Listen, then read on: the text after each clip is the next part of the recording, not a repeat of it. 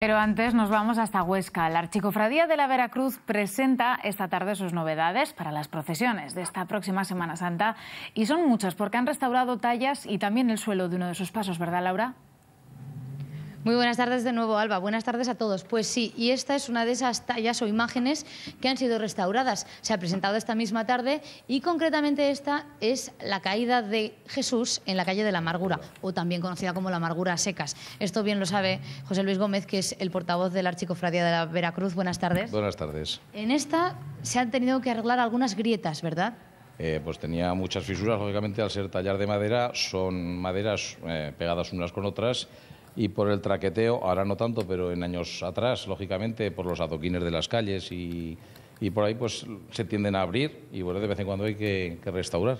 Esta es una copia de Salcillo, que es un Este paso- imaginario famoso hoy. Sí, es del, de un autor catalán del que tenemos seis pasos, que se llama Tomás Márquez, es del año 1906, y lo hizo copiando, pero prácticamente exacto, un paso de Salcillo, que es uno de los mejores, si no el mejor imaginero que, que tenemos. Mm, Fíjate que están ahí agarrándole el pelo a, a Jesús. Esto en el paso del que se copia también es así, pero con pelo real. Es una de las pocas diferencias que hay. El pelo es pelo, bueno, pelo real o pelo lo que sea, pero pelo, no, no es escultura el pelo. Y fíjate tú que dentro de todas las imágenes o figuras que hay sobre este paso, hay uno en concreto que viste un poco diferente al resto. Esto tiene su, su sentido también. Sí, el artista en su momento, o sea, Salcillo, lógicamente, eh, cuando hace el paso original, pues un, personaje lo pinta con, con un traje de la época, en ese caso un soldado. Que está ahí al fondo el soldado. El soldado que no tiene nada que ver. Con cara de no haber roto un plato, por eso, ¿eh? El No, soldado. el pobre está- no se duerme de milagro, pero bueno.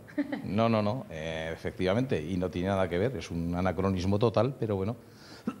sí que es una costumbre a lo mejor en el pintar personajes de la época en la que se hace o, o tallarlos para que luego con el tiempo se vea lo que en realidad existía en ese momento. ¿Cómo se vestía entonces? Efectivamente. Vamos a salir de este local de la Archicofradía de la Veracruz para ver más novedades que están en otro local anexo justo aquí al lado, muy cerquita, porque claro, esta es una de las tallas que se ha restaurado, pero por ejemplo también hay una peana que queremos que vean. Una peana que, por cierto, va a ser nueva totalmente este año.